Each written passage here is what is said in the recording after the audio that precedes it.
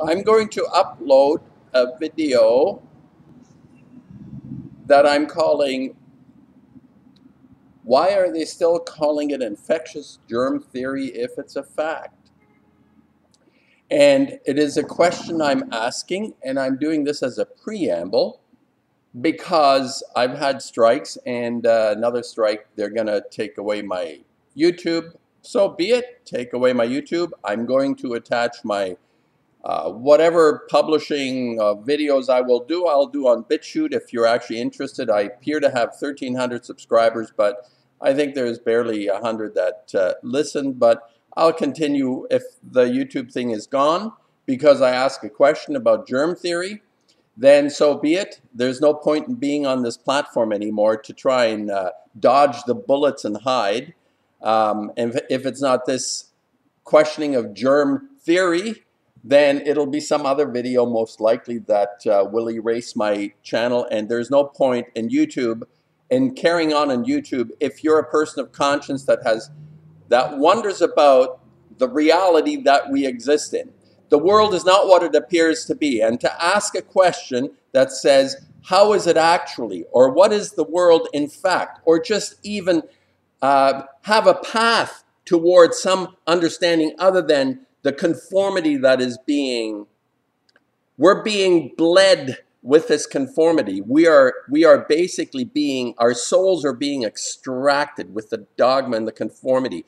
And I'm not giving answers, I'm having questions. And some of the questions may actually be answering themselves regarding the shit show, for example, that we're going through. So if I make a video now, I'm going to uh, do this as a preamble. I'm going to publish the video after this. And uh, if it uh, if uh, this platform chooses to uh, censor me because I have an opinion and a question, more than an opinion, I have a question. Obviously, I have an opinion.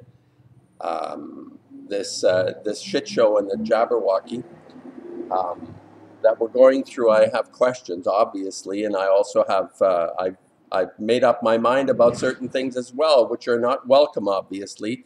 But let's see if a question about something is violation enough and it's called medical misinformation. Let, us see what happens. So I'll attach the, my BitChute uh, channel, which uh, uh, it's, I'm not sure even if I'm going to continue people. Uh, the few that I, I love you people that come and comment and listen, but uh, it doesn't make sense anymore. Do you know what I mean? It, it, doesn't make sense. If even if there are very few views, but still, uh, it's a platform that allows you to participate and interact based on you as a person, especially a person of conscience. It's not uh, appreciated. Or I, I mean, whatever flaws I may have, I am honest in my pursuit of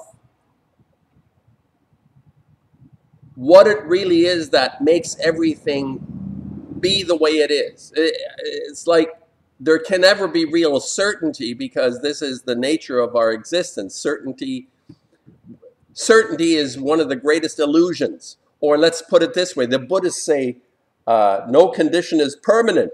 Well, that makes a lot of sense because uncertainty is a principle, the uncertainty principle, but there's also a Kabbalistic notion that my peace is uncertainty. So when we are at ease with not knowing, this is when you run into problems because YouTube is only at ease with knowing the facts that they create, present, and uh, endorse. So I'll, I'll, post this and uh, uh, then I'll, I'll do my other one.